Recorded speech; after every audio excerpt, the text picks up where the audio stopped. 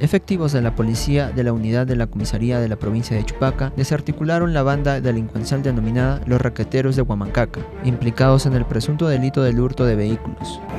Así es, efectivamente el día de ayer la comisaría de Chupaca, por acciones de inteligencia, tomó conocimiento de que una banda estaba desmantelando un vehículo menor motocar en la, en la localidad de Huamancaca. Es así que se constituyeron y detuvieron a tres personas en flagrancia en momentos que desmantelaban este vehículo y se ha capturado a tres personas quienes han sido trasladados a la comisaría y se está haciendo las investigaciones. Esta motocicleta había sido robada, hurtada en Chupaca y había sido trasladado hasta Huamancaca, ¿no?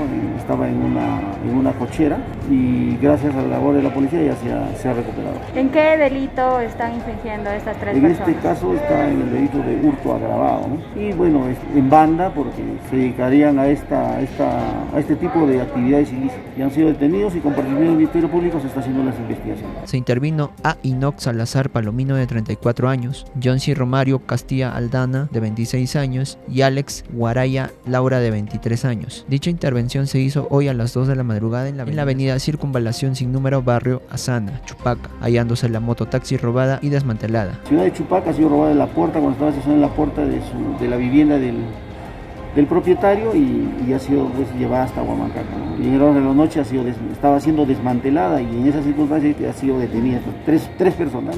Todas las unidades policiales y el área de la sección de investigación de vehículos también realizan su trabajo. Estamos recuperando los vehículos, ¿no? ya hay buena estadística y estamos en eso, señor.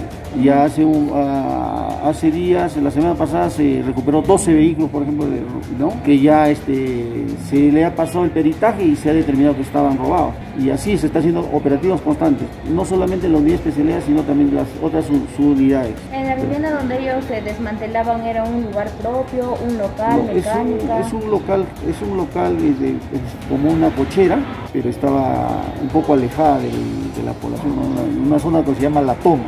Tenemos conocimiento que se dedican a esta actividad, por esa razón han sido detenidos y están siendo investigados con participación del Ministerio Público. ¿Las personas intervenidas son familiares o no tienen ningún no, parentesco no, no, son familiares, son personas que se dedicarían a estas actividades. El coronel, una recomendación también a la población, ya que sabemos porque esta pandemia han adquirido varios, muchos de ellos estos vehículos menores, pero en su mayoría están aumentando los robos a estos vehículos. Bueno, no, no es sino que este, como ya la pandemia se está levantando un poco que también los delincuentes pues están saliendo a hacer su labor habitual, ¿no?